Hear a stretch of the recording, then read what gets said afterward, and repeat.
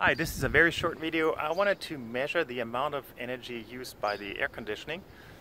And what I've done is I parked the car. I have the setting so the air conditioning keeps running while the car is parked.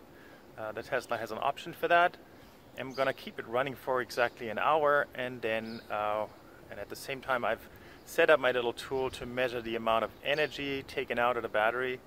Uh, that tool hooks up to the CAN bus, that's the data bus of the car directly, so I'm getting perfect um, accurate data on that. The reason I'm doing it while the car is parked and not driving is because when it's parked, it's not using any energy except for the air conditioning. So this way I can easily isolate and tell exactly how much energy was used by the air conditioning versus trying to figure out how much the motor used and then how much the air conditioning used. That's kind of difficult to do. Actually, I don't really know how I would do that. So anyways, I'm um, park the car. I'm gonna leave it running for an hour and then come back and see how much it is. The car is actually in the sun and the sun is actually shining directly into the front window. So I think it's a reasonable uh, realistic test. Anyways, we'll come back in an hour.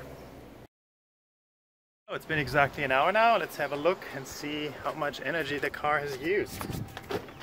Okay, here we go. Air conditioning still running and here is the tool that measures it. Sorry about the glare. There we go, 0.96 kilowatt hours.